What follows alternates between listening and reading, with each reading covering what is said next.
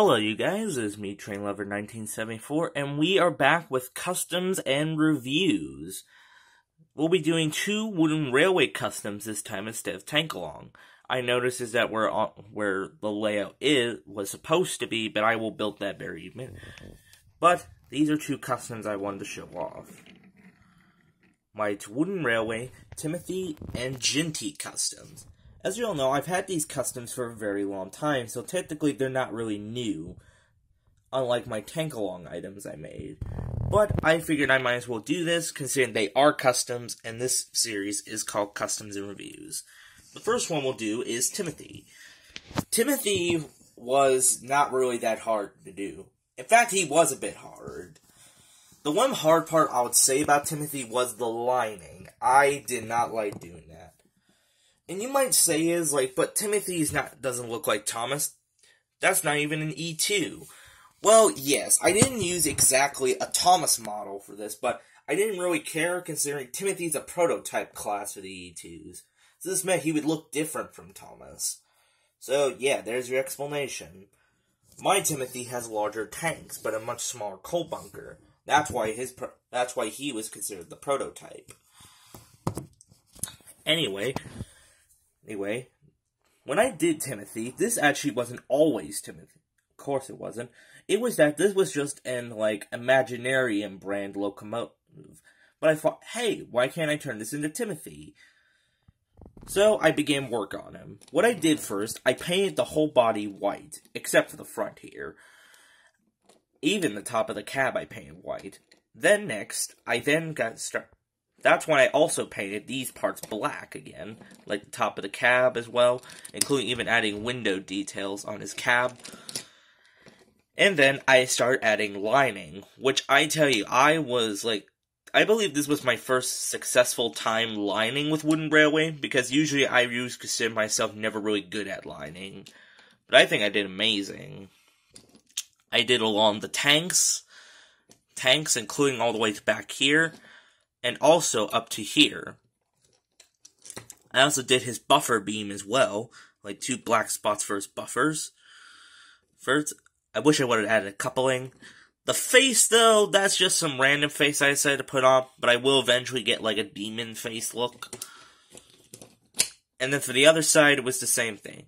For the zero, I didn't know it was originally yellow, and I accidentally painted it red.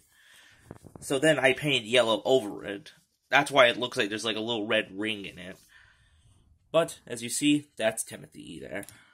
Including I painted his wheel rims black, but it's slowly starting to scrape away.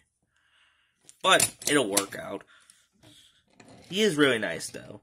Now on to our next custom. Next custom is Jinty.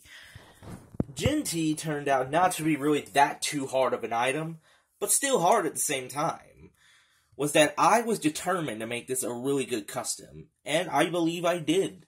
The first thing I did was, I have a whole bunch of Thomases laying around that I wasn't doing anything with. That's where I got the idea for Jinty. Because most people use Thomas when railway customs, when they make their Jinties, use a Thomas for their Jinty. Because, you know, they look identical to each other. Even though being from separate regions. Anyway, I painted the whole thing black. Well, I mean, I didn't really have to worry about this part considering it's already black, so I didn't really paint that. I painted the whole body black. I then started with adding detail. After that dried, I also painted the wheels. I also put names underneath them as well, like how you'd see on wooden railways items describing their names. Like, here's my Henry, like you see Henry. The camera won't focus.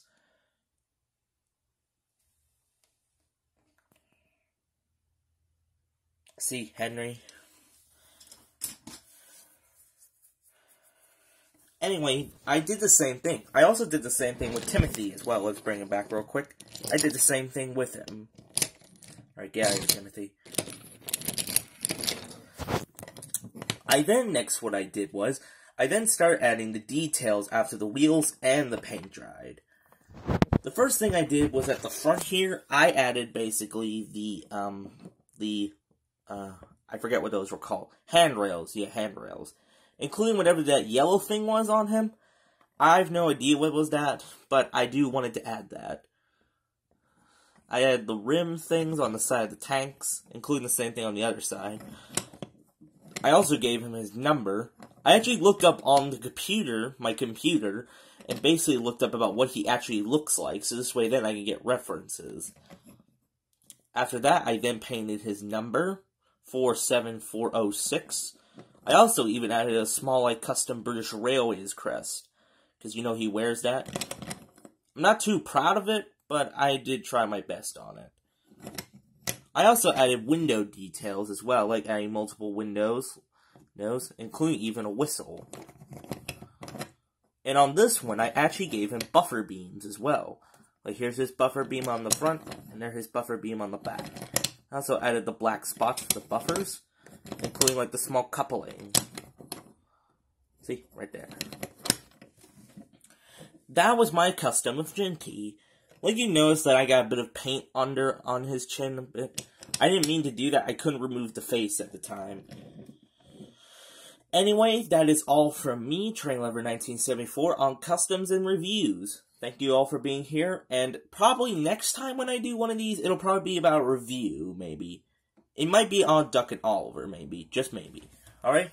See you all next time. Bye-bye.